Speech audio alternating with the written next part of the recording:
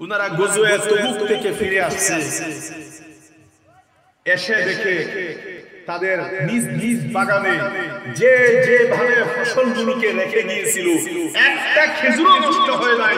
আল্লাহ তাআলা কুদরতি ভাবে সব খেজুরকে আল্লাহ হেফাজত করে কেন? সাহাবায়ে কেরাম জিহাদে যাওয়ার সময় তারা চোখে দেখছিল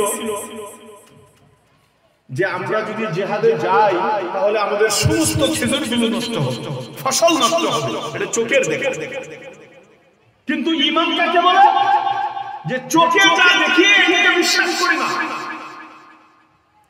আল্লাহ এবং আল্লাহ রাসূল যা বলেছেন, এর উপরে ঈমান, এর উপরে ইয়াকিন করা, এর নাম ঈমান। তো সাহাবায়ে কেরাম চোখে দেখতেছিলেন কি? যে খেজুরগুলো যদি এরকম রেখে চলে যায় সব নষ্ট হবে সারা বছর না খায়া থাকতে হবে বাচ্চাদের চিকিৎসা করতে পারব না তাদের কাপড় চুপড় কিছুই করতে পারব না সারা বছর অনাহারে অনাহারে সারা বছর আমাদের কষ্ট করতে হবে এটা চোখের ঠিকই ঠিক কি? কিন্তু ওনারা চোখের দেখাকে বিশ্বাস করতে ওনারা একিন করেছেন আল্লাহ এবং আল্লাহ রাসূলের আল্লাহ বলেছেন যে না, খেজুর বাগানে তোমাকে রিজিক দিতে পারে না। দোকান তোমাকে খাওয়াইতে পারে না। ব্যবসায় তোমাকে রিজিক দিতে পারে না। চাকরি তোমাকে খাওয়াইতে পারে না। বিদেশি টাকায় তোমাকে শান্তি দিতে পারে না। আল্লাহ তাআলার কথার উপরে ইয়াকিন করে সাহাবায়ে কেরাম বের হয়েছিলেন। আল্লাহ কোরআনে ইরশাদ করেছেন, ও দুনিয়ার মানুষ শুনো, ইন্নাল্লাহ হুয়া রাজ্জাক যুল কুওয়াতিল মাতিন ও দুনিয়ার মানুষ শুনো মা মিন দাব্বাতিন ফিল আরদি ইল্লা আল্লাহু।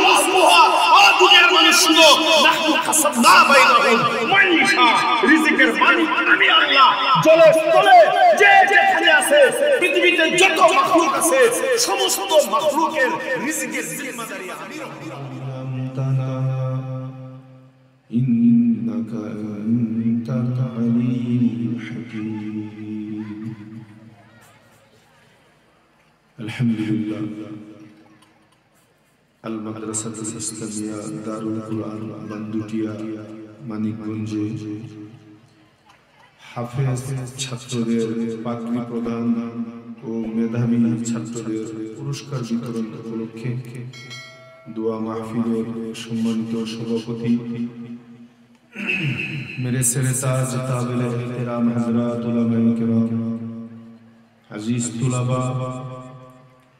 মুরব্বিয়ানে আযম আমার প্রাণপ্রিয় যুবক ভাইয়েরা, কুচি কাঁচা বাচ্চারা, পর্দার আড়ালে অবলা সরলা আল্লাহ তাআলা মাহফিলে আসার, বসার তৌফিক দান করেছেন। শুকরিয়া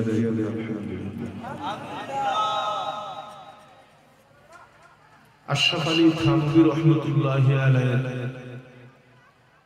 আখিরি খলিফা, আখিরি চেরাগ, সারা পৃথিবীর শেষ খলিফা যিনি ছিলেন, হারদুই হযরত আবরারুল হক রহমতুল্লাহি উনি যেখানেই করতেন, এই আয়াতটি তেলাওয়াত করতেন আর একই কথা সব মাহফিলে যে আয়াতটি আমি আপনাদের সম্মুখে তেলাওয়াত করেছি।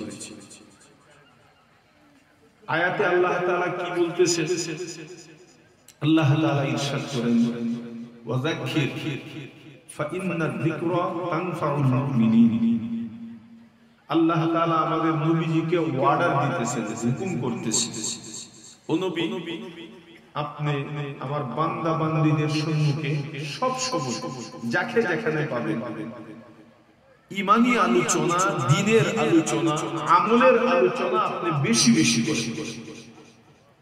হবে কি লাভ কি? আল্লাহ নিজেই এর উত্তর দিচ্ছেন।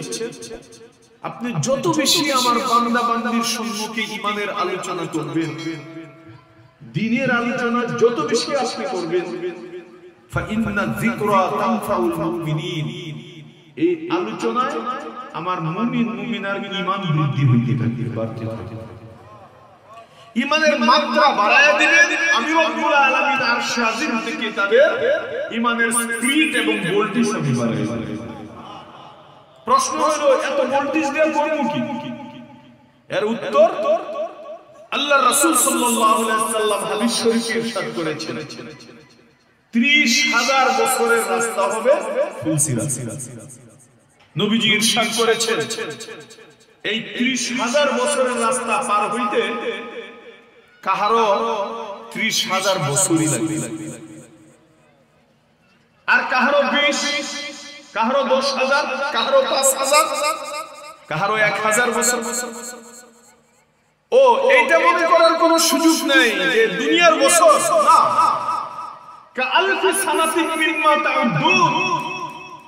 দুনিয়ার এক হাজার বছর মিলে আখেরাতের একদিন। ওই আখেরাতের একদিনের সাথে যুগ আরেকদিন যুগ আরেকদিন তিরিশ দিনে এক মাস, বারো মাসে এক বছর। ওই বছরগুলোই পঞ্চাশ হাজার, তিরিশ হাজার, চল্লিশ হাজার। হাদিসে যা ইরশাদ হয়েছে। তো ওই ত্রিশ হাজার বছরের সিরাজ পার হইতে কাহারো এক হাজার বছর লাগবে কাহারো এক বছর। কাহারো এক মাস। আখেরাতের নবী বলেন, কাহারো এক সপ্তাহ কাহারো একদিন আর চানকফল্লা ভাগ্যবান, কাহারো এক ঘণ্টা কেউ বা ত্রিশ হাজার বছরের রাস্তা এক মিনিটে, কেউ এক সেকেন্ডে বলেন, না, অনেকে এমন হবে এক সেকেন্ডও লাগবে না, চোখের পলক মারার আগেই সে পার হয়ে যাবে। বলে, ইয়া রাসূলুল্লাহ, এটা কীভাবে? এইটাই এইভাবে কীভাবে ওই যে আল্লাহ ইরশাদ করেছেন ওয়া ইমানি আলোচনা বেশি করেন ও নবী, আমার বান্দা বান্দির সম্মুখে আলোচনা আলোচনা, আমলের আলোচনা, যত বেশি করবে, আমার জিম্মায়, আমি মাওলার জিম্মায় হলো তাদের ইমানের ভোল্টেজ আমি বাড়াইতে দেব যে যত বেশি ইমানের মজলিসে বসবে, আলোচনা শুনবে আল্লাহ বলে তার ইমানের চার্জ আমি দিতে থাকি। এই চার্জের সিসি গতি যার যত বেশি হবে, এটা সচক্ষে তার পাওয়ারটা ওই ফুলসিরাতে সে দেখতে কেহ যদি রাত, দিন, সকাল, সন্ধ্যা যেখানে ইমানের আলোচনা সেখানে বসে ইমানের আলোচনা শুনে পাগল হয়ে যায় উলামায়ে কেরামের আলোচনার জন্য। পাগল হয়ে যায় তাবলীগ ওয়ালাদের আলোচনার জন্য। পাগল হয়ে থাকে কোন হালকা দেখলে মুজলিস তালিমের কোন হালকা চুপ করে বসে থাকে। ওই এই লোকটাই চোখের পলক মারার আগে তিন কারণ ওর আর যদি আলোচনা ভালো লাগে না।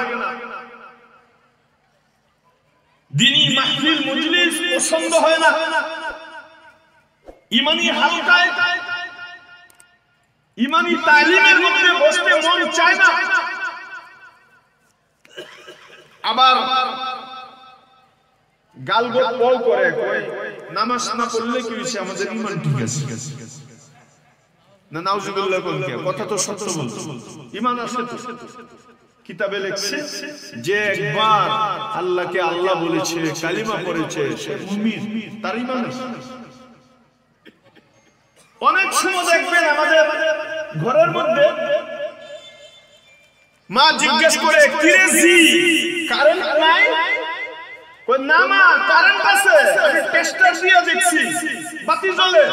কারেন্ট আছে। কারেন্ট আছে। নাই। কথা আছে। কিন্তু ইমানি আলোচনা না শোনার কারণে, ইমানের মজলিসে না বসার কারণে, ইমানের তালিমে হালকায় না বসার কারণে ভোল্টেজ আপনি কবরে গেলেন। এটাতে কবরের বাতি জ্বলবে অন্ধকার কবর আলোকিত করতে পারবে। ফুলসিরাত ত্রিশ হাজার বছরের রাস্তা। আমাবস্যার রাত্রের চেয়ে অন্ধকার পরিবেশ। চুলের চেয়ে চিকন হীরার চেয়ে ওই দিন তো বাহাদুরি ওই ব্যক্তি করবে। যে দুনিয়ার ইমানের মজলিস গুলোতে বসে বসে ইমানের নূর, ইমানের ভোল্টেজ বাড়িয়ে যে ব্যক্তি কবরে শুনতে পারছে, তার ব্যাপারে আল্লাহ ইরশাদ করেছেন, কয়, নূরুহুম বাইনা বিআইমানিহিম। কয়, ওই ব্যক্তির নূর এমন ভাবে চমকাইতে থাকবে ফুলসিরাতে পা রাখার সাথে সাথে পুরো পরিবেশ আলোকিত হয়ে সেই নূর দ্বারা বিজলির আকারে ফুলসিরাত নূরুহুম ইয়াসআ বাইনা আইদিহিম ওয়া বিআইমানিহিম তার ডানে বামে সামনে পিছনে উপরে নিচে নূরুন আলা নূর, নূরের উপর হাবুডুবু খাইতে খাইতে তার চলতে হবে না, নূর তাকে নিয়ে চালাবে এই নুরানি কল, নুরানি দিল কার হবে? যারা নাকি ইমানি আলোচনা, ইমানি মজলিসে অন্তরে অন্তঃস্থল দিয়ে এখলাসের সাথে আল্লাহকে খুশি করার জন্য। আলোচনা যে মনোযোগ সহকারে আল্লাহ তাআলা তাদের ইমানের পাওয়ার এবং ভোল্টেজ এবং এর ফায়দা দুনিয়া দেখবে আখেরাতেও দেখবে মৃত্যুর সময় পায় না অনন্ত শিরকাল কবরে শুয়ে শুয়ে এই ইমানি আলোচনা শোনার বরকতগুলো সে পাইছে এই জন্য আবরারুল হক সাহেব রহমাতুল্লাহ আলাইহি বলতেন যে কোন মজলিসে যে ওয়াজাক্কির ফা ইন্না যিকরা তানফাউল মুমিনিন মুমিনদের সম্মুখে বেশি বেশি ইমানি আলোচনা করেন দিনের আলোচনা বেশি বেশি করেন আমার মুমিন বান্দা বান্দিদের সম্মুখে যত বেশি ইমানের আলোচনা করবেন তাদের ইমান বৃদ্ধি পাবে ইমানের ফায়দা হবে ইমানের ভোল্টেজ বাড়বে আল্লাহ রব্বুল আলামিন আমাদেরকে আলোচনা শোনার জন্য দিনী মজলিসে আসার বসার তৌফিক অন্তরে অন্তরস্থল থেকে খুশি হয়ে শুকরিয়া আদায় আলহামদুলিল্লাহ। ঈমান বহু বড় দামি এক জিনিস। কত দামি? বলে যে শস্য পরিমাণ ঈমান নিয়ে যদি কবরে শুইতে পারো, তোমার ইমানের দাম বাড়াইতে বাড়াইতে আল্লাহ তাআলা ওই মিটারে নিয়ে পৌঁছাবে এক শস্য পরিমাণ ইমানের বদৌলতে তোমাকে মাওলা কবরে যাওয়ার সাথে সাথে দুনিয়ার সমান একটা জান্নাতের মালিক বলে বলে কেরাম বলতেন, ও দুনিয়াবাসী, শুনো, আমাদেরকে আমাদের আল্লাহর রাসূল প্রথমে কি শিখাইছেন জানো তাআল্লামনাল ঈমান সুম্মা তাআল্লামনাল কুরআন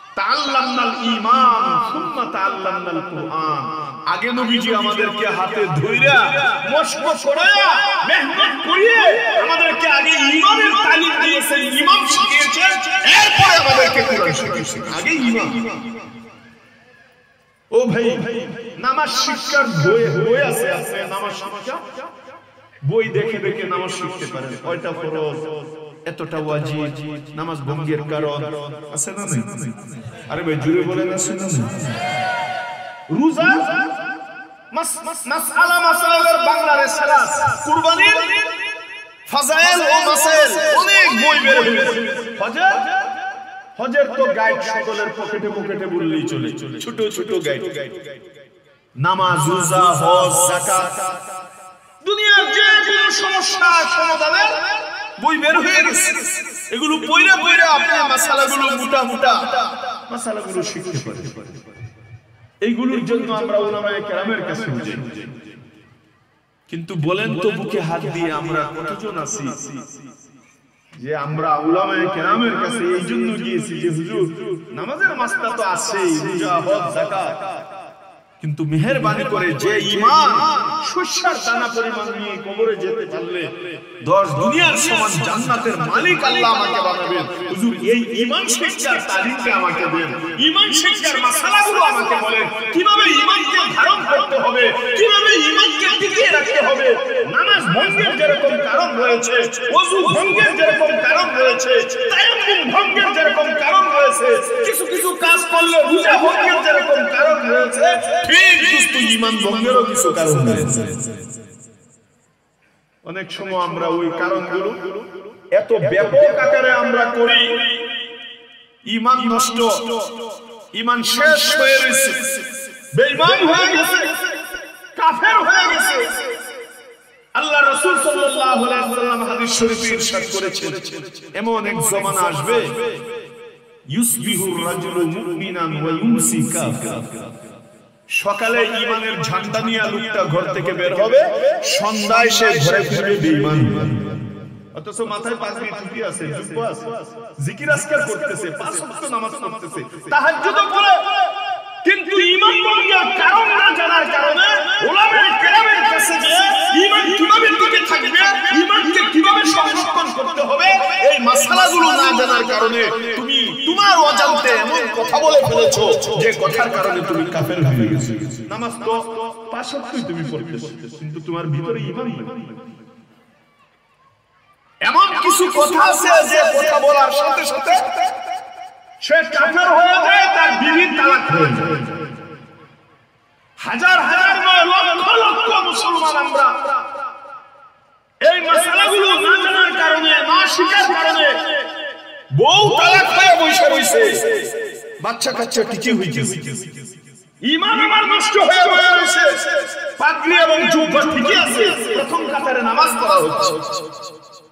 এই জন্য আল্লামা স্বামী রহমতুল্লাহ তিনি উল্লেখ করেন যে এই জমানার মধ্যে দুনিয়ার যত মাসালা মাসালা আছে, নামাজ, রোজা ইত্যাদি ইত্যাদি, সবচেয়ে গুরুত্বপূর্ণ হলো এমন একটা ফিতনার জমানা, এমন ফাসাদের জমানায় আমরা বিরাজ করছি যে জমানায় মিনিটে মিনিটে এমন কথা আপনার আমার জবান থেকে বের হচ্ছে যে ঈমান নষ্ট হচ্ছে। এই- জন্য উনি বলেছেন, নামাজের আগে, রোজার মাসলা শিকার আগে যাকাতের মাসালা শিকার আগে আগে ঈমানের মাসালাগুলো শিখে শিখে কি করলে ইমান টিকে থাকবে আর কি করলে ইমান ভেঙে যাবে? ইমান ভঙ্গের কারণ আল্লাহ এত দামি একটা সম্পদ আপনাকে আমাকে দান করেছেন। আজকাল তো দূরের কথা, আমরা তো কত পিছনের মানুষ নবীর জমানা থেকে। নবীজি সাল্লাল্লাহু আলাইহি সাল্লামের জমানায় আল্লাহ রাসূলের হাতের গোড়া সাহাবায়ে কেরাম, যাদেরকে আল্লাহ তাআলা দুনিয়াতে জান্নাতের সার্টিফিকেট দিয়ে দিয়েছেন যারা 24 ঘণ্টা জিবরিল আলাইহিস সালামের আমোদ রক্ত আসা যাওয়া অবলম্বন করতেন, যাদের ঘটনার প্রেক্ষিতে কুরআন নাযিল হতো, রাসূল সাল্লাল্লাহু আলাইহি সাল্লামের সম্মুখে 24 ঘণ্টা যে সাহাবায়ে কেরাম চলাফেরা করতেন আল্লাহ রাসূল ঘন্টায় ঘন্টায় মিনিটে মিনিটে যাদেরকে ইসলাম এবং সংশোধন করতেন। এমন দ্রুত পবিত্র নিরেট পরিষ্কার ঈমানওয়ালা সাহাবায়ে কেরামকেও নবী কি বলেছেন? ও আমার সাহাবারা বলা তো যায় না কখন কি হয়ে যায়। সুতরাং তোমরা প্রতিদিন একটি আমল করবে আর সেই আমলটা হইল জাদ্দিদু ঈমানাকুম। প্রতিদিন কালিমা পড়িয়া ঈমানকে নবায়ন করে দিবে। কে কাকে বলতেছে? নবী সাহাবাদের বলতেছে। আমাদের কত ইমানকে নবায়ন করার দরকার? ইমানকে ওলামায়ে কেরামের এক্সরের মেশিনের ভিতরে ঢুকাইয়া এমআরআই করা এক্সরে করা আল্ট্রাসাউন্ড করা কত দরকার? আপনার আমার ইমানকে কুরআন, হাদিসের মেশিনের ভিতরে ঢুকাইলে বুঝা যাবে ইমানের মধ্যে কত নম্বরের জক্কা কত ক্যান্সার, কত ডায়াবেটিস, ইমানের কত হাই প্রেসার চলতেছে। মাশাআল্লাহ। নামাজ পড়তেছি মনে পড়তেছি এটাই আমার জন্য যথেষ্ট। আমি পাক্কা মুসলমান নামাজ হইল ইসলামের অনেক শাখা প্রশাখার মধ্যে একটা শাখা। ইবাদতের একটা অংশ। ইমানিয়াত ইবাদত মুআমালাত মুআশারাত আখলাক কত দিক ইসলামের রয়েছে। সবগুলো মিলে হইল ইসলাম।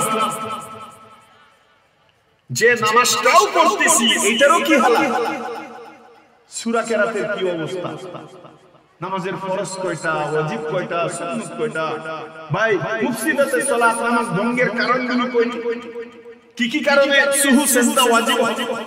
এখন যদি ইন্টারভিউ নেই এক একজন করে দাঁড় করাই, হাতে গোনা চার পাঁচ জন পাওয়া মুশকিল হয়ে যাবে মুসলমান। নাকি মিথ্যা কথা বলতেছে? অন্য কিছু তো ইসলামের সাথে আমাদের সম্পর্ক একদম নাই বললেই চলে। যেটার সম্পর্ক আছে যে ইবাদতের কারণে আমরা মুসলমান মুখ ফুলিয়ে দাবি করতেছি এই নামাজ দ্বারা কি অবস্থা? এই জন্য আল্লাহ এত দামি মূল্যবান সম্পদ আপনাকে আমাকে দান করছেন। আল্লাহ রাসূল সাল্লাল্লাহু আলাইহি সাল্লাম সাহাবায়ে কেরামকে এই সম্পদটাকে অক্ষুণ্ণ রাখার জন্য হেফাজত করার জন্য বারবার বলতেন জাদ্দিদু ঈমানাকুম বিকাউলি লা ইলাহা লা ইলাহা বইলা প্রতিদিন তুমি ঈমানকে তুমি দুহরায়া নাও ঈমানকে সংশোধন করো। সাহাবায়ে কেরামের ঈমান এটা একটা মডেল ইমান ছিল। ইমানের মডেল ইমানের সাইনবোর্ড। কেমন সাইনবোর্ড আল্লাহ তাআলা এই সাইনবোর্ডের কথা কোরআনে বলেছেন। ফাইন আমিনু বিমিসলি মা আমানতুম বিহি, ফাকাদ কিয়ামত পর্যন্ত সকলকে উদ্দেশ্য করে আল্লাহ বলেছেন, ও দুনিয়ার বান্দা বান্দিরা শুনো। এই মডেল ইমান সাহাবায়ে কেরাম যেভাবে ইমান এনেছে, তোমরাও যদি সাহাবায়ে কেরামের মতো ইমানের মালিক হতে পারো ইমান আনতে পারো তবেই তারাও তোমরা হেদায়েত পাবে। সাহাবায়ে কেরামের ইমানের মতো সাহাবায়ে কেরামের ইমান কেমন ছিল? এর দুই একটা উদাহরণ দিলে আপনাদের সম্মুখে স্পষ্ট হয়ে যাবে যে সাহাবাওয়ালা ইমান কাকে বলে? ইমানের সংজ্ঞা কি? ইমান কাকে বলে? ইমান বলা হয় আর সাহাবাদের ইমান ছিল চোখে যা দেখা যায়। এটাকে অবিশ্বাস এর মোকাবেলায় আল্লাহ এবং আল্লাহর রাসূল যে কথাটা বলেছেন ওইটাই সত্য। চোখে যা দেখতেছে এটা সারা দুনিয়ার মানুষ এক কথা বলতেছে। পুরো পৃথিবীর মানুষ একটা কথা বলতেছে। আর চোখেও দেখা যাইতেছে, এমন জিনিস ঘটতেছে। এই ব্যাপারে আল্লাহ এবং আল্লাহ রাসূল অন্য কথা বলেছেন। ঈমান হলো ওইটার নাম যে ও সারা দুনিয়ার মানুষ, সকলে মিলে যা বলতেছো তোমাদের সবার কথা মিথ্যা, আমার নবী যা বলেছে ওইটাই এটাকে একিন করার নাম হলো এইটাকে বিশ্বাস করার নাম হলো ঈমান। দুই চোখে জাহিরি ভাবে যা দেখা। এটাকে অস্বীকার করা। এর মোকাবেলায় আল্লাহ এবং আল্লাহর রাসূল যে বলেছেন যদিও আমি দেখছি না আমি বুঝতে পারতেছি না কয় তোমার দেখারও দরকার নাই বুঝারও দরকার নাই নবী যা বলেছেন এটাকে একই করা। তুমি মুমিন এটা এক দুইটা উদাহরণ দেয় বুঝবেন।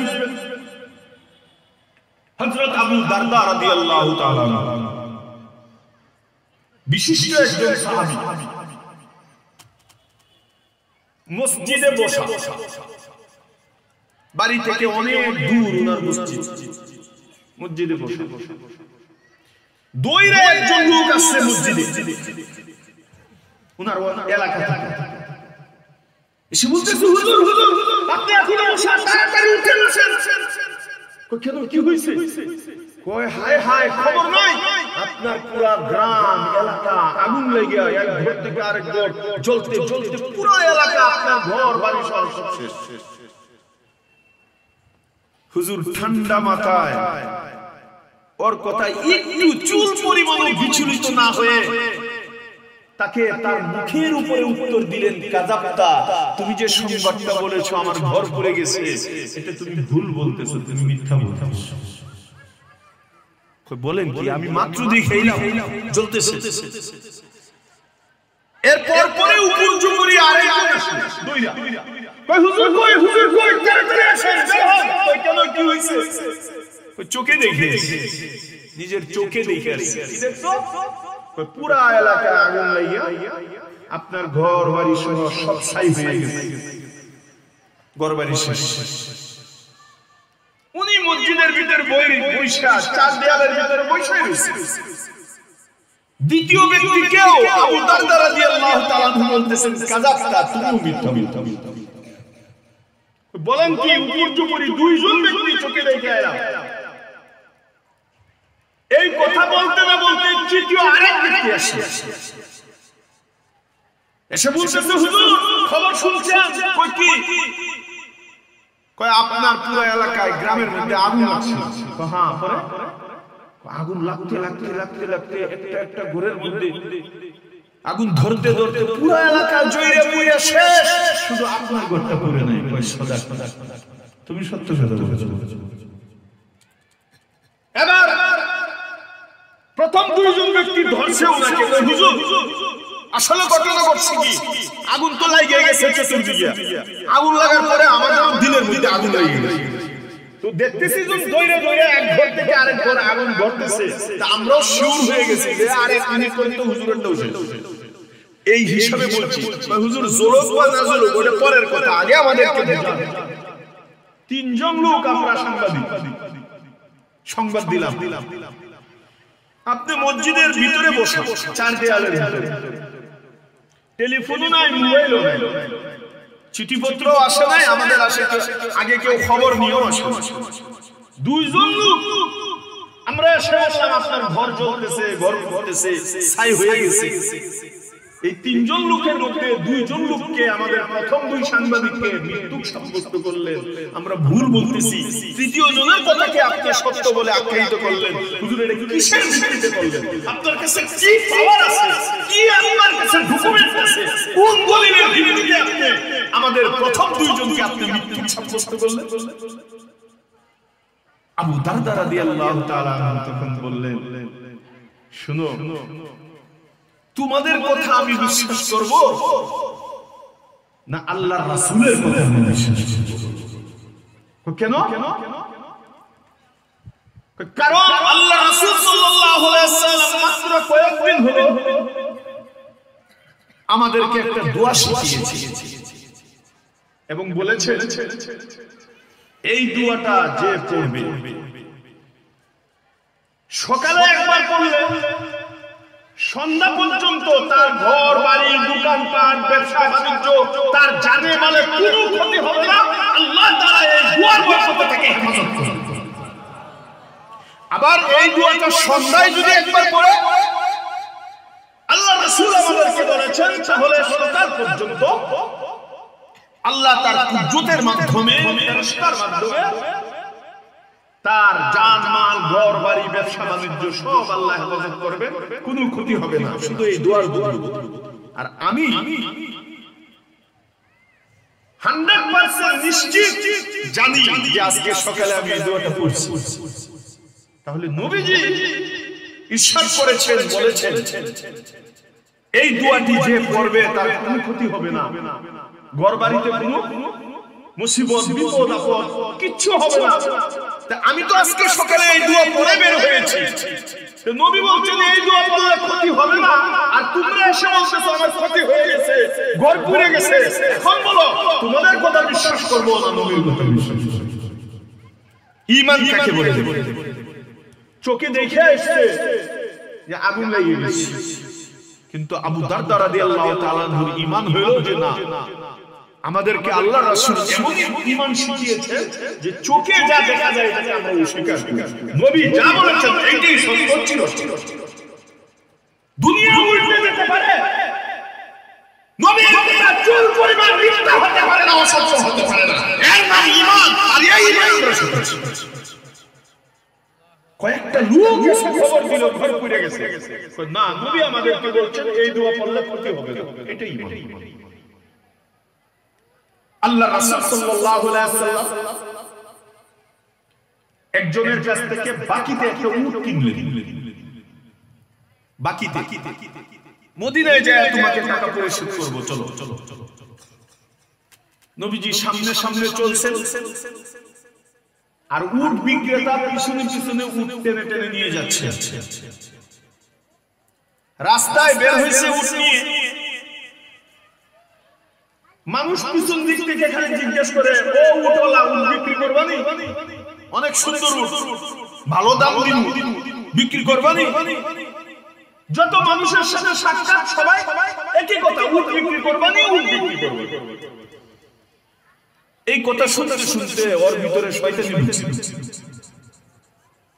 এবার মনে মনে বলতেছে যে টাকায় নবীর কাছে উট বিক্রি করছি আর আমার মার্কেট যে গরম হয়েছে উঠে, যদি অন্য জনের কাছে বেশি, তাহলে বেশি টাকা দিবে বিক্রি করতে পারতে রাস্তার মাঝখানে নবীজিকে বলে, শুনেন, উট কিনলে এখন কিনে না হলে অন্য জনের কাছে বিক্রি করে দেবে। নবীজি বলেন, না ভাই, তুমি তো আর কারও কাছে তুমি বেচতে পারো না, আমার কাছে বিক্রি করেছ। এক কথায়, দুই কথায় নবী বলতেছেন আমি তো উট কিনেছি তোমার কাছ থেকে। এখন নবীজির মুখের উপরে সে পরিষ্কার বলে দিচ্ছে "ভাই, আমি আপনার কাছে বেশি নেই। নবী বলেন বিক্রি করেছ? সে বলে বেশি নাই। বিক্রি করি নাই। এবার উটওয়ালা বলতেছে আচ্ছা আমি যদি আপনার কাছে উট বিক্রি করেই থাকি তাহলে আপনার সাক্ষী আনবেন যদি সাক্ষী আনতে পারেন তাহলে উট পাবেন আর উট বিক্রেতা ভালো করে জানে, যখন উট বিক্রি করেছিল কোনো সাক্ষী ছিল একজন, দুইজন করে করে মানুষ জমা হইতে হইতে এই রাস্তার মধ্যে অনেক মানুষ ভিড় জমে গেছে। নবীজি কিনেছি, অবলে বিক্রি করি না, যদি দাবি করেন যে আমি বিক্রি করেছি, তাহলে সাক্ষী এই কথা চলতেছে। মানুষ ভিড় হয়ে গেছে। এই রাস্তা দিয়ে যাচ্ছিলেন একজন সাহাবী। এত ভিড় দেখে সাহাবী মানুষের ভিড় এড়িয়ে ভিতরে ঢুকছে। কি হয়েছে মাঝখানে এসে স্পটে এসে দেখে, হায় হায়, আল্লাহ রাসূল দাঁড়িয়ে কি হয়েছে নবীজি বলতেছেন, আমি উট ক্রয় করেছিলাম তার কাছ থেকে। সে বলে না না আপনি বিশ্বাস করেন না।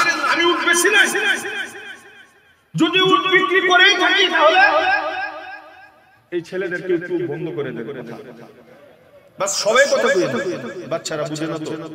কেউ গার্ডিয়ান থাকলে ভালো হবে। এবার সাহাবী যখন জিজ্ঞেস করল ইয়া রাসূলুল্লাহ কি হয়েছে?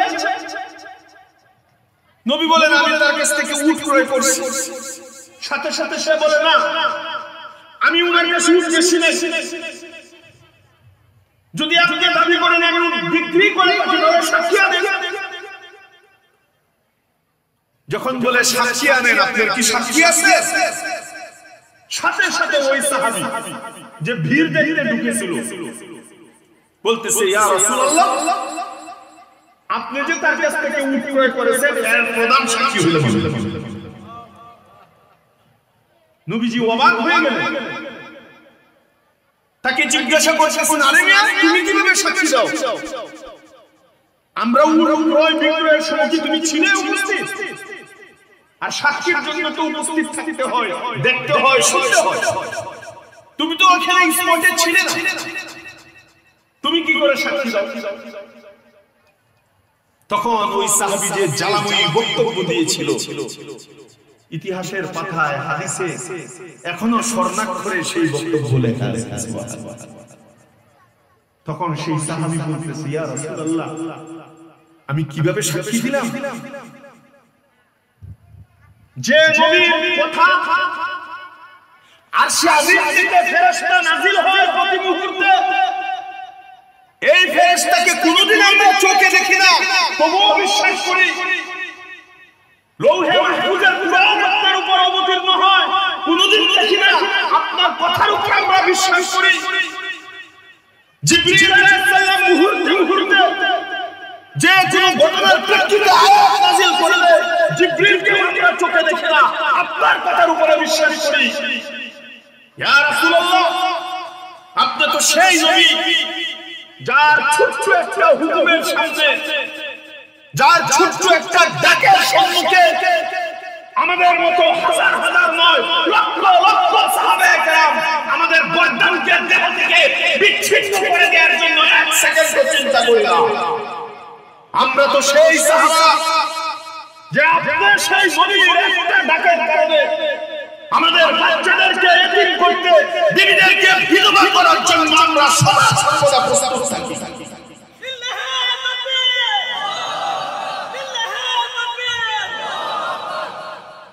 সুতরাং আপনার যে জবানের কথাই শুধু আসমানের উপরের কথা যদি একই করতে পারি, আর শাহিদের কথা যদি বিশ্বাস করতে পারি ওয়াহির খোদা না দেখেও যদি ঈমান আনতে পারি, খোদার কসম, এই নবী জমিনের মধ্যে একটা উট দিলে কখনো মিথ্যা বলতে পারে না। আপনি 100% তার কাছ থেকে উট ক্রয় করেছেন। আমি দিয়ে দিলাম। উনার এই বক্তব্য শুনে নবীজির শরীরে জুস আইসে গেছে। তখন নবীও টিকতে পারেন নাই। আল্লাহ রাসূল বরদাস্ত করতে পারেন নাই। নবী এই সাহাবীর জন্য ঘোষণা করলেন আজকে থেকে আমি বিশ্বনবী মুহাম্মদুর রাসূলুল্লাহ ঘোষণা করলাম। আমার এই একা সাহাবী একজনের সাক্ষী থেকে দুইজন ব্যক্তি, দুই সমান সমান করে দিলেন। হলো এটার নাম যে চোখে দেখি নাই, চোখে যা দেখি এটাকে বিশ্বাস করি না। আল্লাহর রাসূল যা পৃথিবী উল্টে যেতে পারে আসমান জমিন হতে পারে, জমিন আসমান হতে পারে। রাত দিন হতে পারে, দিন রাত হতে পারে। আল্লাহ এবং রাসূলের কথা, তাদের বাণী চুল পরিমাণে সত্য এবং উল্টে পাল্টা এবং কোনো মিস হইতে পারে না। এই একিনটা করার নাম ইমান। এই মার্কা ইমান যদি দুস্তু শস্যার দানা পরিমাণ নিয়া কবরে শুইতে পারে, তাহলে ওই ইমানের মূল্য আল্লাহর কাছে কত দশ দুনিয়ার সমান জান্নাতের মালিক আল্লাহ। যা আল্লাহ এবং আল্লাহর রাসূল যা বলেছেন, ওইটাই হযরত আলী রাদিয়াল্লাহু তাআলা আরও ওনার সাথীদেরকে নিয়ে নরবরে একটা দেয়ালের নিচে বসা। হঠাৎ করে দেয়ালটা তাদের উপরে ভেঙে পড়ে গেছে সমস্ত সাথীরা দৌড়ে বের হয়ে গেছে। দেয়ালের যান বাঁচানোর জন্য আলী তাআলা বসে রইলেন সাথীরা বের হয়ে যায় আলীকে ডাকে আলী এই যে দেয়াল ভেঙে পড়তেছে তুমি তো মরে যাবে। আলী তাআলা আনহু ঠান্ডা মাথায় তাদেরকে বলতেছে তোমাদের দৌড় তোমরা দৌড়ো আমি আমার টেনশন তোমাদের করতে হবে আরে ভাই মাথার উপরে ওয়াল ভেঙে পড়তেছে। মরবা না মানে? কিসের ভিত্তিতে তুমি গ্যারান্টি দিয়ে বলতে পারতেছো তুমি মরবা না বলে আল্লাহ রাসূল সাল্লাল্লাহু আলাইহি ওয়াসাল্লাম যেদিন আমাকে বলেছিলেন আলী যেদিন তোমার কপালের রক্তের দ্বারা তোমার দাড়ি ভিজবে এর আগ পর্যন্ত তোমার মৃত্যু হবে না। যেদিন কপালের রক্ত দাড়ি সমস্ত দাড়ি লম্বত করবে দাড়ি মুবারক তোমার ভিজবে। সেই দিন তোমার ইন্তেকাল হবে। ওই নবীর কথা শোনার পর থেকে আমি শিওর হয়ে গেলাম দুনিয়ার কেউ আমাকে মারতে পারবে না। কোনো উসিলে আমার মৃত্যু নাই। যেদিন আমার কপালের রক্ত দাড়িতে আসবে আর কারও কিছু বলতে হবে না। আমি ইন্তেকাল করব সেই দিন শাহাদত করব। সুতরাং এই দেয়াল কইরা দেয়ালের চাপায় এই নবীর কথা তাদের ইয়কিন কত বিশ্বাস এর নাম ইমান নবী যা বলেছেন আর হইলেও তো তাই তিনি শাহাদত বরণ করছেন। যখন কূপ দিছে কপালের রক্ত গরগর কইরা যখন দাড়িতে পড়ছে দিচ্ছে এরপরে উনি শাহাদত বরণ করছেন।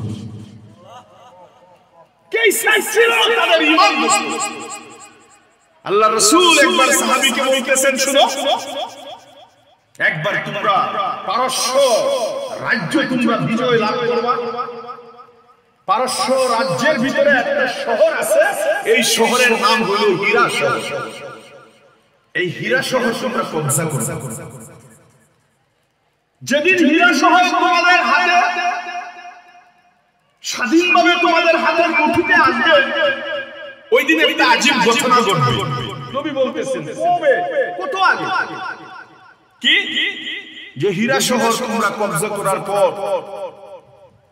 এই শহরের রাজকন্যা, এই শহরের মেন ফটক গেট দিয়ে একটা সাদা গাদার উপরে সোয়ার হইয়া কালো নীলা পরিহিত অবস্থায় সিলিন্ডার করার জন্য সেই গাদার উপরে সোয়ার হয়ে। পুরা শহর তোমাদের হাতে বুঝাইয়ে দেওয়ার জন্য। রাজকন্যা বের হবে। সাহাবি এটা শুইনা এমন একিন করছেন। সাথে সাথে ওই সাহাবি বলতেছে ইয়া রাসূলুল্লাহ আপনার কাছে আমার অনুরোধ হইল ওই বান্দিটাকে আমাকে দিয়ে। চিন্তা করে কবে না কবে মুসলমানদের হাতে আসবে। এরপরে বাদী হবে। কিন্তু এখনই বাদী বিনিময় হয়ে যাবে আল্লাহ রাসূল বলেন যে ঠিক আছে ওই বাদী তোমাকে দিয়ে দিলাম। আল্লাহর নবী ইন্তেকাল করলেন। অনেক পর যখন ওই শহর মুসলমানরা কবজা করল হীরা শহর যখন স্বাধীন হলো সমস্ত তখন ভিতরে ঢুকলেন শহরে গনিমতের মাল তারা জমা করতে লাগলেন। কিন্তু এই সাহাবী উনি ভিতরে ঢুকেন না গেটের বাইরে দাঁড়ায় সাহাবারা কিরে বেয়া তুমি এখানে দাঁড়ায় আসো। গনিমতের মাল কত কাজ আছে ভিতরে? কই তোমাদের কাজ তোমরা করো আমাকে দাঁড়াইতে দাও। কই কেন দাঁড়াইছো? কই নবীর কথা। কত বছর পূর্বে নবী সেই ভবিষ্যৎবাণী বলেছিলেন আজকে নবীর কথাগুলো অক্ষরে অক্ষরে আমি মিলে দেখতেছি যে আল্লাহ রাসূলের কথা আর তাদের কদম কতটুকু আর কতটুকু মিল সেই আমি চোখে দেখতেছি কই কি বলছিলেন? পুরা ঘটনা বলছে। পরে দেখে কিছুক্ষণের মধ্যে একজন চাঁদের মতো চেহারা রাজকন্যা সুন্দরী রমণী সাদা গাদার উপর সওয়ার হইয়া কালো গিলাম পেছাইয়া গাদার উপরে সওয়ার হইয়া কটকট করে বের হইতেছে। ও দেখে আল্লাহু আকবার বলল যে আল্লাহর রাসূল যেভাবে বলেছিলেন যে সুরতে যে ড্রেসে যে সওয়ারির উপরে উঠে বের হবে একদম হুবু হুবু নবীর কথা আর তাদের কদমে কদমে মিলতেছে। এবার সকলকে বলতেছে, কই ভাই, এই বালিটা আমাকে দিয়ে দাও। সাহাবারা বলেন যে না, বাদি তো এমনি দেওয়া যাবে না। গনিমতের মাল সব জমা হবে, এরপরে বন্টন হবে, যার কপালে আছে তার কপালে যাবে। এখন তো লিস্টি মুক্তি হয় না, কয় এটা বাহিরে। কয় কেন? আল্লাহ রাসূল এটা অনেক আগে আমার দিয়ে দিয়েছে। কি ছিল তাদের ঈমান দেখে নাই। কিন্তু আল্লাহ রাসূল বলেছেন, তাদের অন্তরে অন্তঃস্থলে এমন বদ্ধমূল হয়েছে যে এটা হবে। এটাই কি করেন আলী রাদিয়াল্লাহু তাআলা বলেন আল্লাহ রাসূল আমাদের সম্মুখে জান্নাতের আলোচনা এত করতেন এত করতেন। নবীজির পবিত্র মুখে জান্নাতের আলোচনা শুনতে শুনতে জান্নাতের উপর আমার এমন একই হয়েছে, জান্নাত ঘুরে দেখে আসলেও নবী যা বলেছেন এর চেয়ে চুল পরিমাণ বেশি আমি জান্নাতে পাইতাম না। নবীর বলা আর চোখের দেখা 100% সমান তাদের একই বলছে হ্যাঁ সাহাবায়ে কেরাম নবীজির মুখে যা শুনতেন। ওইটা চোখে দেখার মতো তারা একই এক সাহাবী রাত ভর ঘুমায় না। কান্দে আর কান্দে সারা রাত কাঁদে কাঁদে জিজ্ঞাসা করা হলো আপনি এত কাঁদতেছেন? কি করব? আমি তো চোখ বন্ধ করতে পারি না। পারি না কেন পারেন না? যেদিন আমার নবী পবিত্র জবান থেকে আমি শুনেছি যে মানুষ মারা যাওয়ার পরে যদি সে জাহান্নামী হয় তার কবরের হালাত এই হবে আগুন সাপ বিচ্ছু। নবীর কথাগুলো এমন প্রভাব আর এমন আসর করছে আমার দিলের ভিতরে। এখন চব্বিশ ঘণ্টা শুধু আমার চোখের ভিতরে সাপ আগুন এই বিচ্ছু আর ওই মুনকার দিকে জাহান নামের ফেরেস্তা শুধু নবী বলেছেন যে শোনে এমন একই তাদের। উসমান গনি রাদিয়াল্লাহু তাআলা তিনি কবরের পাশ দিয়ে হাঁটতে পারতেন গুরুস্থানের কাছে দিয়ে যাইলে উনার পা ব্রেক ধরে যেত, আর কদম এমন কান্না শুরু করতেন বলে যে কেমন কানতেন কয় মুরগির বাচ্চা জবা করলে যেরকম তার গলার রক্তগুলো ফিসকি মেরে বের হয়, উসমান গনি রাদিয়াল্লাহু তাআলা কবর দেখলে চোখের পানি এমন ভাবে গড়গড় গড়গড় করে বের হইতো, দাড়ি মুবারক ভিজে যেত সিনা মুবারক ভিজে যেত, কাঁদতে কাঁদতে উসমান গনি এই কবরের পাশে শুয়ে বেহুশ হয়ে যেত মানুষ ধইরা বাড়িতে নিয়া মাথায় পানি দিয়া হুশো একদিন একজনে জিজ্ঞেস করলেন হুজুর হাসরের কথা বললে এত কাঁদেন না? ফুলসিরাতের কথা বললে এত কাঁদেন না? জাহান্নামের আলোচনায় আপনি বেহুশ হন না। কিন্তু কবরের পাশ দিয়ে আপনি হাঁটতেই পারেন না। কবর দেখলেই বেহুশ হয়ে যান কাঁদতে কাঁদতে গুরুস্থান দেখলেই আপনি বেহুশ হয়ে যান কাঁদতে কাঁদতে হুজুর কারণটা কি রহস্য উসমান গনি রাদিয়াল্লাহু তাআলা বললেন যে ভাই যেদিন আল্লাহর নবীর পবিত্র জবানে শুনেছি মানুষ মারা যাওয়ার পর ইন্তিকাল করার পর আখেরাতের আলমে বরজখের সর্বপ্রথম তার ঘাটি স্টেশন হইল কবর। সর্বপ্রথম ঘাটি হইল কবর। আর এই কবর সম্পর্কে আমার নবী আমাদেরকে বলেছেন যে কবরে যাওয়ার পরে মানুষ দুই শ্রেণীতে বিভক্ত হবে। আল কাবরু রাউজাতুন মিন রিয়াজিল জান্নাহ। আও হুফরাতুন মিন হুফারিন নার। কাহার জন্য তো কবরটা জান্নাতের বাগান হয়ে যাবে। যাওয়ার সাথে সাথে আল্লাহ তাআলা জান্নাতের সাথে কেটে জান্নাতের সুশীতল সেই মনোরম শীতল আবহাওয়া তার সিনায় লাগার সাথে সাথে এমন একটা আরাম মাহসুস করবে, অনুভব করবে এবং আল্লাহর পক্ষ থেকে আওয়াজ আসবে, ওরে বান্দা। এই কবরের শান্তির জন্য তুমি কত রাত্র ঘুমাচ্ছিলে? কত কষ্ট করেছ? কত জিকির আজকার করেছ? রব চাহি অনুযায়ী জীবন পরিচালনা করেছ। মন চাহি জিন্দগির রেখে তোমার সাথে তুমি নষ্ট করে দিয়েছ। আজকে তুমি আমার কাছে এসেছ। নাম আরুস আজকে তুমি ঘুমিয়ে যাও। এমন ঘুম ঘুমাও। এক ঘুমে তোমাকে আখেরাতে একদম হাসরের মাঠে তোমাকে করা হবে। আর দ্বিতীয় শ্রেণি যে হবে আর কারোর জন্য কবর গর্ত হবে আগুনের পরীক্ষা হবে সাপ বিচ্ছুর খোরাকি হবে।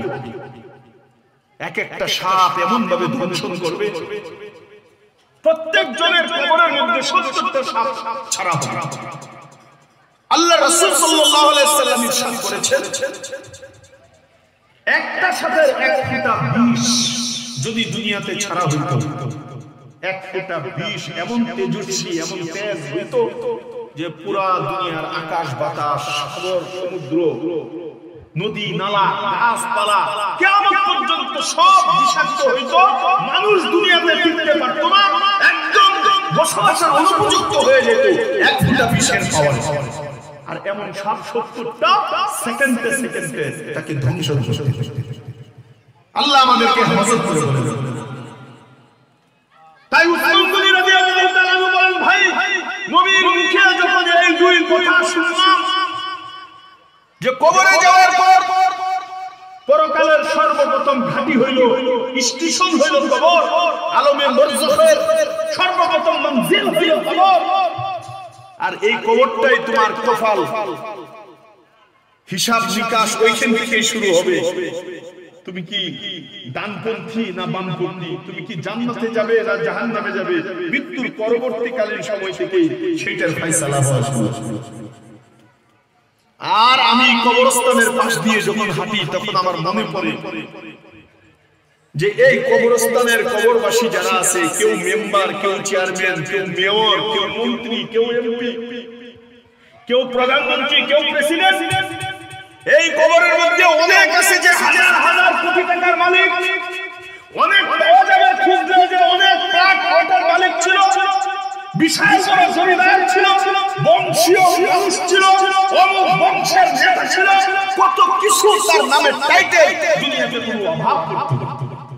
আজকে আজকে সেই সেই মন্ত্রী, এমপি, টাকাওয়ালা, পয়সাওয়ালা এদিক দিয়ে মনে হচ্ছে আর ডিস্টার্ব হইতেছে কুটকুট করে কে আসে? আর একটু একটু কথা শোনা যায় স্টেজে কেউ আসা যাওয়া করবেন মেহরবানি তো উসমান তাআলা বলেন যে সমস্ত এই দুনিয়াদাররা এই কবরে আজকে শুয়ে আছে। সে প্রেসিডেন্ট ছিল, মন্ত্রী ছিল এমপি ছিল, হাজার হাজার কোটি টাকার মালিক ছিল। মানুষ তার পিছনে মিছিল করত। ফুলের মালা দিয়ে তার চোখ পর্যন্ত ডেকে ফেলত। অমুক ভাইয়ের চরিত্র ফুলের মতো পবিত্র, নামাজ পড়ে না ওইটা আর কয় ওই দুইটাই অমুক ভাইয়ের চরিত্র ফুলের আসল ফুলের মালা তো সেই পড়বে। রিক্সাওয়ালা হোক গার্মেন্টস এর চাকরিজীবী হোক, যতই হত দরিদ্র হোক, ভিক্ষুক হোক, ফকির হোক, মিসকিন হোক দিন মজুর হোক, মানুষের খেতে খেতে খানেওয়ালা পুরুষ আল্লাহ ময়দানে ডাক দিয়ে বলবেন, তুই গরিব ছিলিস? রিক্সা চালাইতে, ভ্যান কিন্তু আমি যখন তোকে ডাক দিতাম মসজিদের দিকে, আল্লাহু যখন বলা হতো তোর কর্ণকুহরে মুয়াজ্জিনের ধ্বনি যখন আসতো, তোর রিক্সার চাকা রিক্সার চাকা, ভ্যানের চাকা, গাড়ির চাকা, গার্মেন্টসের চাকরি, দোকানের ছাপ, আর কিছুই চলতো না, সব বন্ধ করে আমার কুটুতি পায়ে তুই দিবি। আজকে তুই আয়। আমার কাছে আয়। এই ফেরেশতা ওকে আমার কাছে নিয়ে আসো। আল্লাহ তাআলা তার কুদরতি কুলে বসায়া।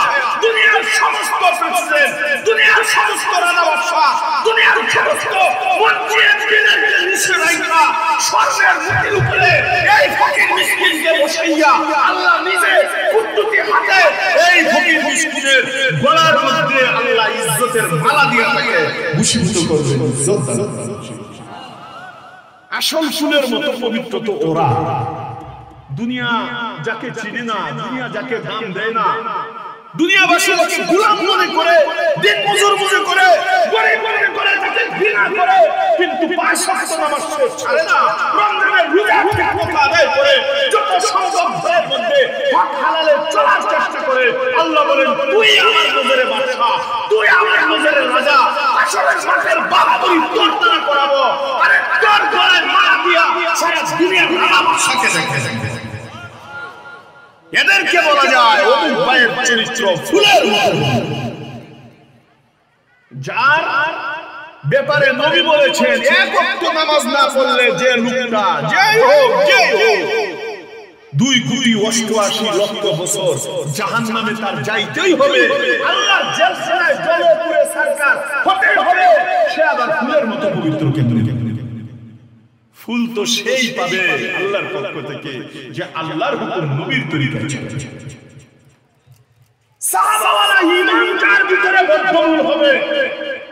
চোখে যা দেখি, বিশ্বাস করি না। আল্লাহ রাসূল যা বলেছেন, ওইটাই সত্য। এই যে দুনিয়া থেকে দাম দেয় দরকার নাই। দুনিয়া আমার সাথে কবরে যাবে না। ওই কত মন্ত্রী এমপি মারা গেল কেউ তো গেল না। একটা টেলিফোনও তো কবরের মধ্যে করে না। স্যার আপনি কেমন আছেন?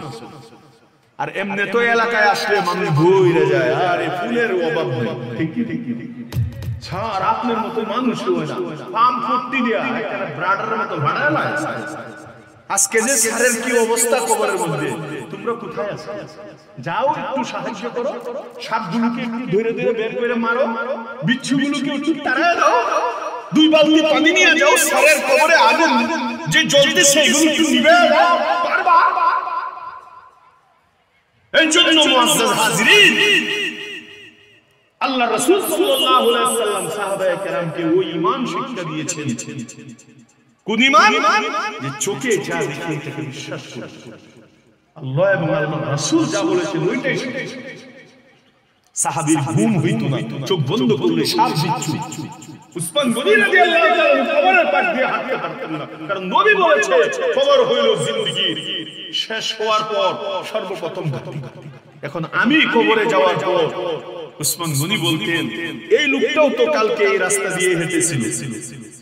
আজকে সে অন্ধকার দুনিয়াতে কত সাথী, কত বাতি, কত সাহায্যকারী, একটু সর্দি হইলে বিদেশ থেকে ডাক্তার নিয়ে আসতে আজকে তার কি কিতাবে লেখে, একটা মানুষ মারা যাওয়ার একুশ দিনের মধ্যে তার পেটের সব নারী বুড়ি পুকে পোকা মাকড়ে খেয়ে পিছনের সব পোকা বের হবে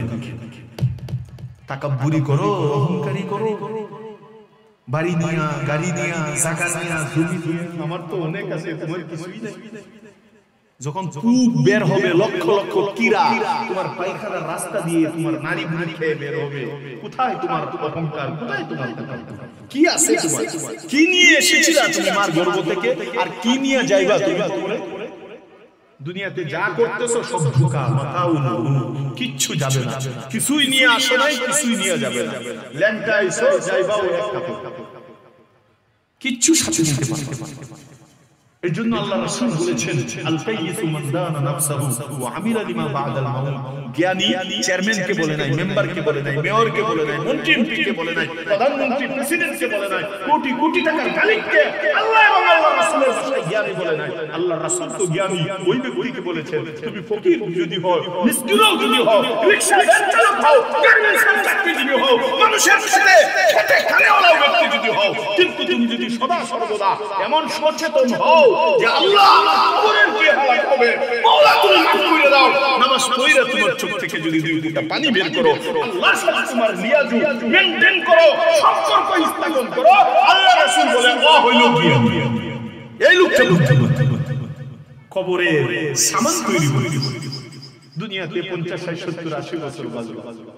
কবরে যাওয়ার পরে কত বছর?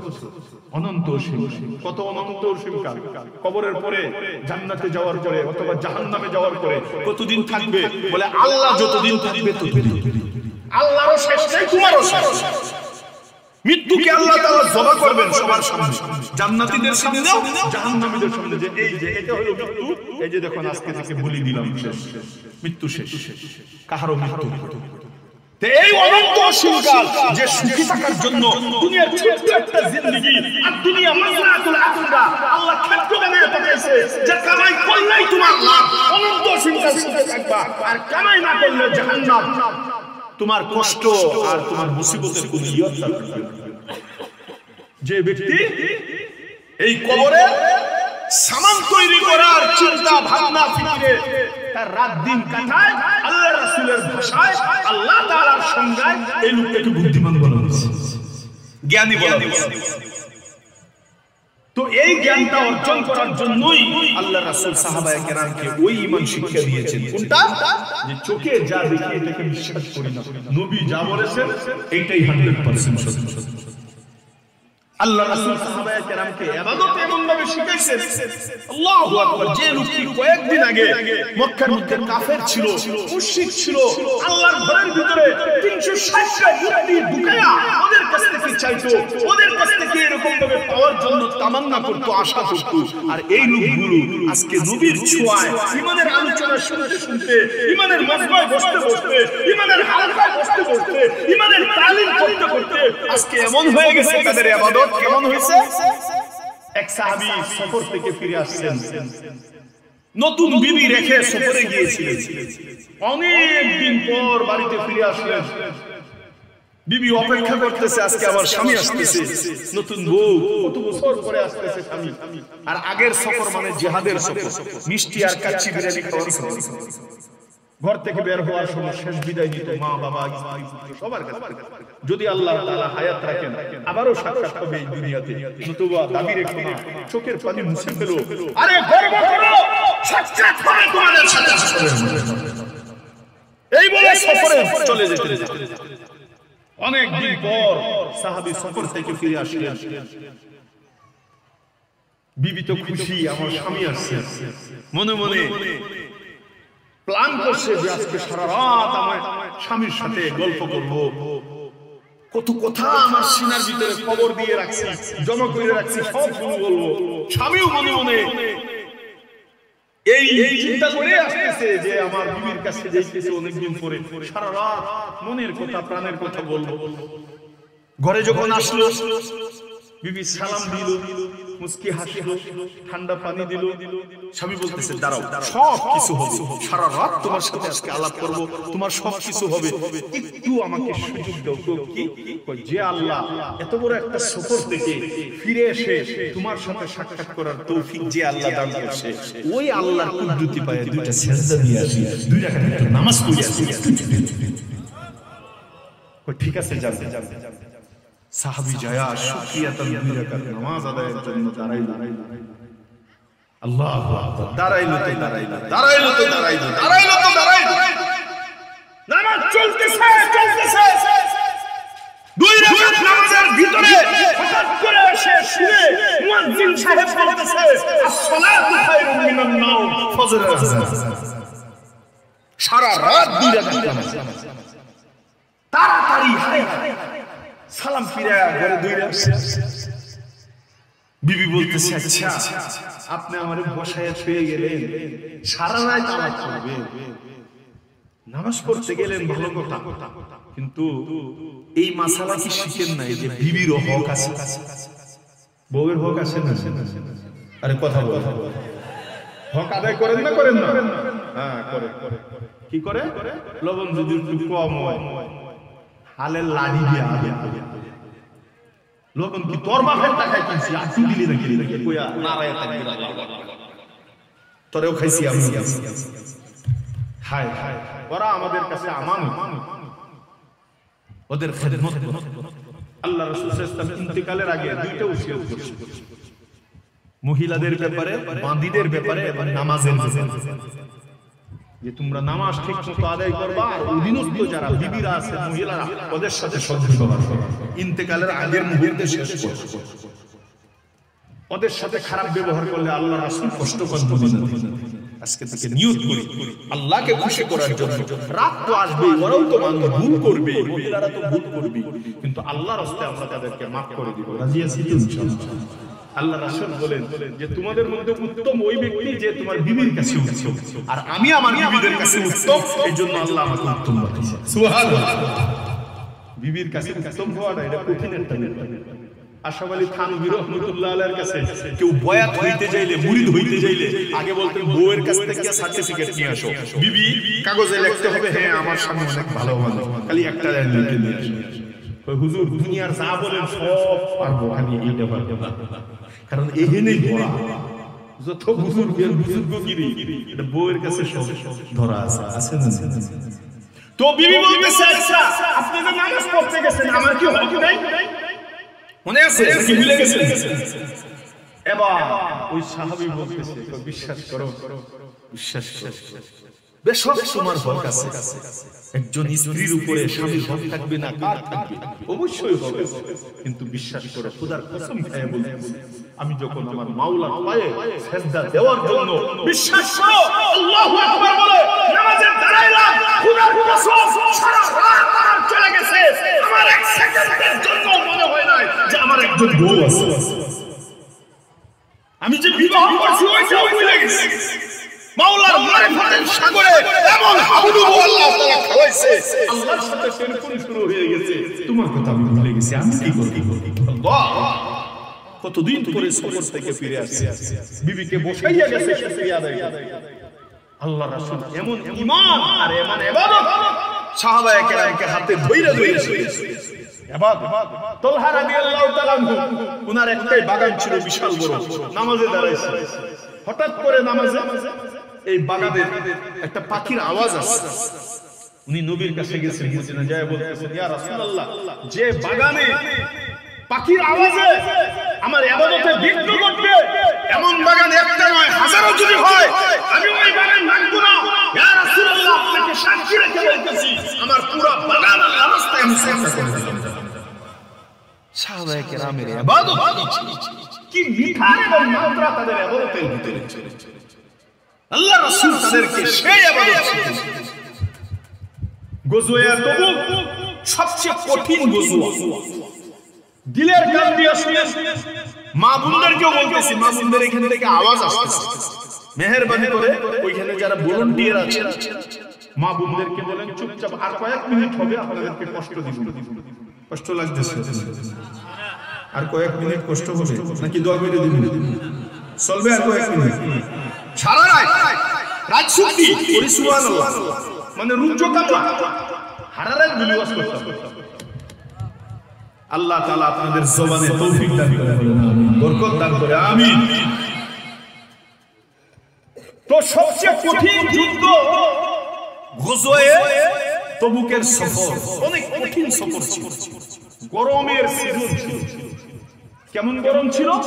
ঘর থেকে বের হলে চামড়া জ্বলে যেত, কালো হয়ে যেত এমন আর মরুভূমি বালুগুলো পাথরের টুকরা এখান থেকে আগুনের মধ্যে তাপ বের হবে এই বালুর মধ্যে চাউ ছাড়লে এটা মুড়ি হয়ে যেত পাও রাখা যাইত। আর আরবে তো পাথর আর পাথর আর তবুকের দিক দিয়ে শুধু পাহাড় আর পাথর। এত গরম। আর তখন সিজন ছিল ফসল কাটার সিজন খেজুর পাক পেকে গিয়েছিল। আরবদের একটাই ফসল ছিল খেজুর। এই খেজুর কেটে সারা বছর তারা আহার জোগাড় করত চিকিৎসা অন্য বছর বাসস্থান সব সব। খেজুর সব গাছে পাইতে গেছে কয়েকদিনের মধ্যে কাটতে হবে নাহলে নষ্ট হয়ে যাবে। এমন একটা অবস্থা। এই হালাতে আল্লাহ রাসূল সাল্লাল্লাহু আলাইহি ওয়াসাল্লাম সাহাবায়ে কেরামকে হুকুম করলেন ও আমার সাহাবারা সবাই রেডি হও সবাই তৈরি হও। সফরে যেতে হবে বুঝে তবুকে তবুকে এই রোদ্রে আবার ফসল কাটার সাহাবায়ে কেরামের মনে মনে চাইছিল যে আর যদি এক দুইটা দিন একটু দেরি হইতো ফসলটা কাইটিয়া হাজার হাজার লক্ষ লক্ষ কোটি কোটি টাকার ফসল সব নষ্ট হয়ে যাবে। গেছে আমরা যাওয়ার পরেই সব কইরা মাটির সাথে মিশে যাবে। তো মনে মনে চাইছিল যে কয়েকটা দিন পরে গেলে যদি জেহাদে যায় তাহলে ফসলটা কেটে যাইতে পারে কিন্তু আল্লাহ রাসূল ডাক দিয়েছেন। তারা কিছুই দেখে নাই। নবীর ডাকে সাড়া দিয়া মদিনার যত সাহাবায়ে কেরাম ছিলেন, সব বের হয়ে গেছে। পুরা মদিনা খালি। রৌদ্র কেমন ছিল? কিতাবে এমন রৌদ্র ছিল। মরুভূমিতে তো গাছের প্রশ্নই নাই। ছায়ার কোনো শুধু নিজের হাতটাকে কপালের উপরে রেখে কপালটার মধ্যে একটু ছায়া দিতে পুরো তাপের মধ্যে, রোদ্রের মধ্যে তাদের চলাফেরা করতে এত রৌদ্র ছিল, এত প্রখর রৌদ্র ছিল। বলে যে তারা পিপাসায় তাদের গলা সিনা পর্যন্ত শুকিয়ে গেছিল। এই পিপাসা নিবারণ করার জন্য এক পানির ব্যবস্থা নাই। মাথার উপরে সূর্য, রৌদ্রের তাপ। আবার মরুভূমি মাটির নিচ থেকে তাপ বের হইতেছে। এরা পিপাসা নিবারণ করার জন্য উটগুলোকে জবা কইরা, উটের নারী বুড়ি এই বুড়িগুলিকে চিচিয়া এই নারী বুড়ির রসগুলো তারা পান কইরা পিপাসা আর উটের ভুড়িগুলো ফেরে, ভুড়ির ভিতর থেকে ঘাস বের করে এই ঘাসগুলো মাথায় দিয়ে তারা ছায়া ছায়া কি কঠিন একটা সমস্যা সমস্ত তাদের লক্ষ লক্ষ কোটি কোটি টাকার বাগান, এই খেজুর বাগান সব কিছু গাড়ি দোকান, পান, ব্যবসা, বাণিজ্য সব রেখে সব ছেড়ে আল্লাহ রাসূলের দিয়ে একজন সাহাবী ছিলেন, তার নাম আবু খাইসাম রাদিয়াল্লাহু তাআলা। এটা মনে রাখবেন। আবু খাইসাম রাদিয়াল্লাহু তাআলা। উনি অনেক বছর ধরে লম্বা সফরে চলে গিয়েছিলেন এবার উনি এই দিন মদিনায় আসলেন সফর থেকে ফিরে। উনার দুইজন বিবি ছিল। বিবিরা শুনে ঘরের মধ্যে পানি ছিটা দিছে ঘর ঠান্ডা করার জন্য মাটির ঘর। কত তাপ। পানি নিয়ে তারা অপেক্ষা করতেছে স্বামী আসলে পানি পান করাবে কলিজা ঠান্ডা হবে। হাতের মধ্যে হাত পাকা নিয়ে অপেক্ষা করতেছে। তাকে শীতল করবে ঠান্ডা করবে। সব আয়োজন ঘরের মধ্যে শেষ। স্বামী আসতে আবু খাইসাম রাদিয়াল্লাহু তাআলা উনি যখন ঘরের দরজায় আসলেন মদিনায় যখন ঢুকলেন কোন কোনো পুরুষ দেখা যায় না পুরো মদিনা খানা। উনি ঘরের দরজায় আসার পরেই বিবি সালাম দিতেছে বলতেছে, ওয়েলকাম আসেন, আপনার জন্য সব ব্যবস্থা।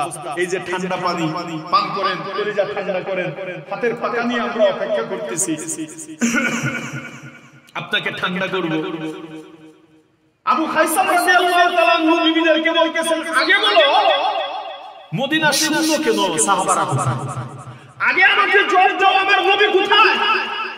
নবী কোথায়, সাহাবারা ঘরে ঢুকে বলে যে, সব বলব, খুলে বলব, আসেন ঘরে। বলো আগে। আল্লাহর রাসূল মদিনার সব সাহাবায়ে কেরামকে নিয়ে এই রোদ্রে তবুকের দিকে গেছে, জিহাদের জন্য। সব সাহাবায়ে কেরাম বের হয়ে গেছে। আপনি আসেন একটু পানি পান। আবু খাইসাম রাদিয়াল্লাহু তাআলা চোখে পানি এসে পড়ছে। আর বলতেছে আল্লাহর রাসূল এই রোদ্রে জিহাদের সফরে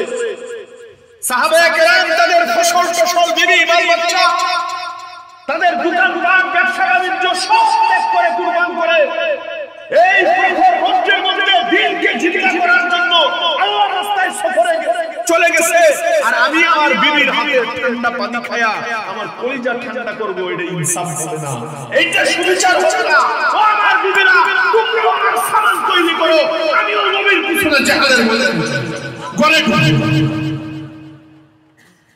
সাহাবার বিবিরাও তো এরকম ছিল সামান তৈরি করে দিছে আবু খাইসার রাদিয়াল্লাহু তাআলা সামান নিয়া নবীর সাথে আবার আল্লাহ রাস্তায় বের হয়ে গেছে ঢুকে সাহাবায়ে কেরাম আল্লাহর উপরে তাওয়াক্কুল করে নবীর কথার উপরে ইয়াকিন করে আল্লাহ রাসূলের ডাকে সাড়া দিয়ে জিহাদের ময়দানে সব ফসল রেখে পাইকে গেছে। এক দুই দিনের মধ্যে সব পয়সা নষ্ট হয়ে সব শেষ হবে। তারা একই জানে চোখে দেখতেছে। কিন্তু দেখলে কি হবে? আল্লাহ রাসূল বলেছেন জিহাদে যেতে হবে, চলে গেছে। নবীর কথা মানার কারণে, নবীর কথায় সাড়া দেওয়ার কারণে আল্লাহ এই সাহাবায়ে কেরামের জিন্দেগিতে কেমন বরকত দিয়েছে দেখেন? উনারা গজওয়ে তবুক থেকে ফিরে আসছে। এসে দেখে তাদের নিজ নিজ বাগানে যে যেভাবে ফসলগুলোকে রেখে গিয়েছিল একটা খেজুরও নষ্ট হয়ে নাই। আল্লাহ তাআলা কুদরতি ভাবে সব খেজুরকে আল্লাহ হেফাজত করে কেন? সাহাবায়ে কেরাম জিহাদে যাওয়ার সময় তারা চোখে দেখছিল যে আমরা যদি জেহাদে যাই, তাহলে আমাদের সমস্ত খেজুরগুলো নষ্ট হবে, ফসল নষ্ট হবে, এটা চোখের দেখে। কিন্তু ইমান কাকে বলে?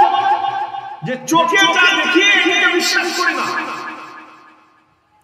আল্লাহ এবং আল্লাহ রাসূল যা বলেছেন, এর উপরে এর উপরে ইয়াকিন করা, এর নাম তো সাহাবায়ে কেরাম চোখে দেখতেছিলেন কি?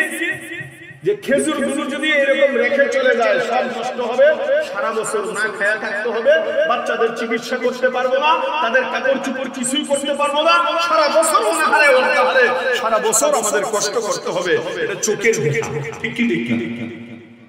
কিন্তু ওনারা চোখের দেখাকে বিশ্বাস করতে ওনারা একিন করেছেন আল্লাহ এবং আল্লাহ আল্লাহ বলেছেন যে না, খেজুর বাগানে তোমাকে রিজিক দিতে পারে না। দোকান তোমাকে খাওয়াইতে পারে না। ব্যবসায় তোমাকে রিজিক দিতে পারে না। চাকরি তোমাকে খাওয়াইতে পারে না। বিদেশি টাকায় তোমাকে শান্তি দিতে পারে না। আল্লাহ তাআলার উপরে ইয়াকিন করে সাহাবায়ে কেরাম বের হয়েছিলেন। আল্লাহ কোরআনে ইরশাদ করেছেন। ও দুনিয়ার মানুষ শুনো ইন্নাল্লাহ হুয়া রাজ্জাক যুল কুওয়াতিল মাতিন ও দুনিয়ার মানুষ শুনো মা মিন ফিল আরদি ইল্লা আল্লাহু ও দুনিয়ার মানুষ শুনো নাহনু কাসামনা বাইনাহুম। মাইশা রিজিকের মালিক আমি আল্লাহ। জলে স্থলে যে যেখানে আছে পৃথিবীতে যত মাখলুক আছে সমস্ত মাখলুকের রিজিকের জিম্মাদারি আমি